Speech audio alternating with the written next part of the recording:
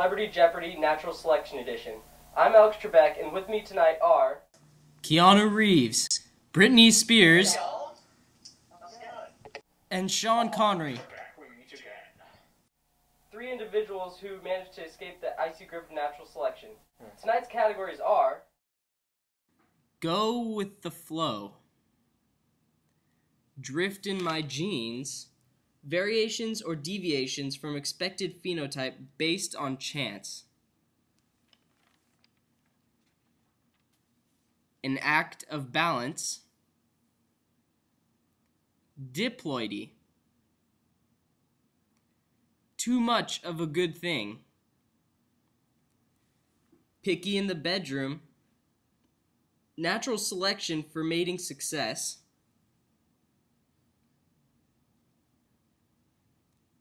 And neutral reproducers.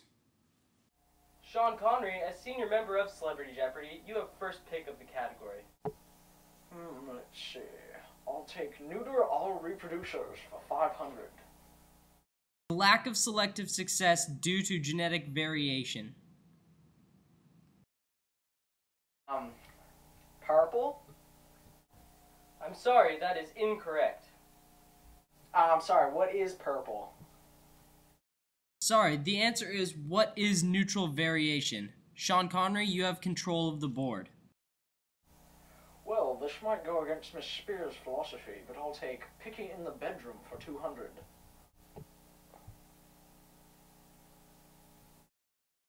Form of sexual selection in which phenotypes are carried on or selected within the same sex. What is two? Two what? Exactly. The correct answer is what is intrasexual selection? Mr. Connery, it's yours again. I'll take too much of a good thing, just like your mother had last night. The decrease in fitness of a phenotype due to its excessive reoccurrence in a population. What is obesity? I'm sorry, that is incorrect. The correct answer is what is frequency dependent selection?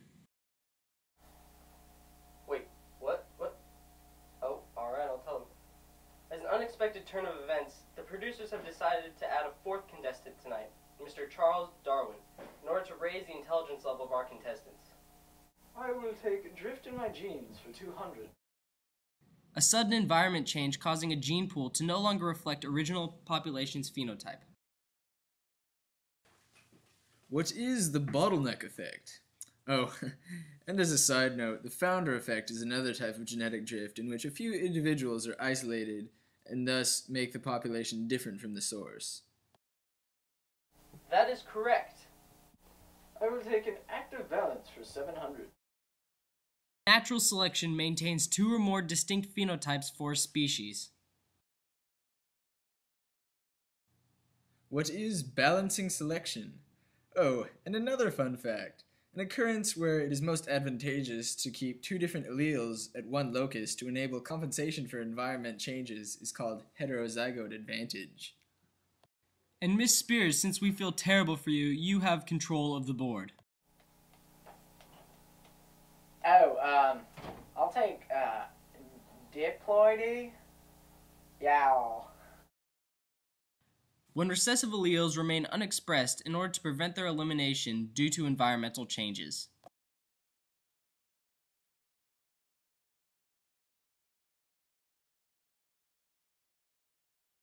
Hello? Over here, Mr. Trebek. I buzzed in. Hello? Anyone want to venture a guess? Anyone? Anyone out there? You can just buzz in at any time and test your luck. Since nobody managed to buzz in, I'll answer. What is diploidy? Sadly, since no one was able to get that incredibly easy question correct, I'll pick the next category. The type of sexual selection producing differences between male and female phenotypes. What is sexual dimorphism? Whoa, wait, wait. I think I blacked out. Am I dead? Mr. Reeves, I didn't know it was possible, but you've managed to answer the question correctly. You get a pick again. I'll take Go with the Flow for $2,500. I'm sorry, Mr. Reeves, but although that is not a category, I'll pick Go with the Flow for 200. The elements of gene flow which create genetic addition or subtraction through their movement. In order to gain points for this question, all you must do is raise your hand. Right or left will be accepted. Just raise your hand.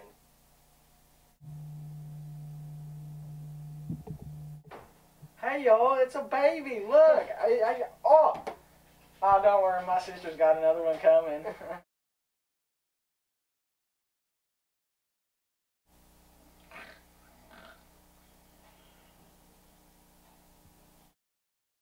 Since nobody raised their hand, the answer is what are fertile individuals or gametes?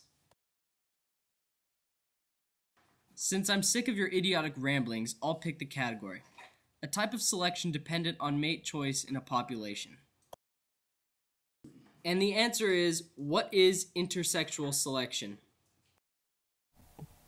And now we move on to Final Jeopardy. Within gene flow, this is the direction in which population differences occur. Just draw an arrow up or down.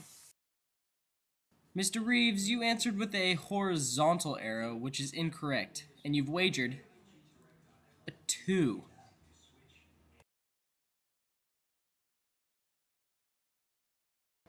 Mrs. Spears, you've managed to recreate a masterpiece of art using only a Sharpie. Let's see what you've wagered. Ah, should have expected this. It's a baby. Now, Mr. Darwin, I believe that's more of a statement than an answer, but I guess we can see what you've wagered. Ah, tough loss. Sean Connery, that is an arrow pointing up, which is the correct answer. Now let's see what you've wagered. Oh, that's nice. Contestants, due to your complete lack of intelligence, everyone in the studio is now dumber. And each of your charities will be awarded zero dollars. May God have mercy on your souls. I'm Alex Trebek, and this has been Celebrity Jeopardy. Thanks for watching.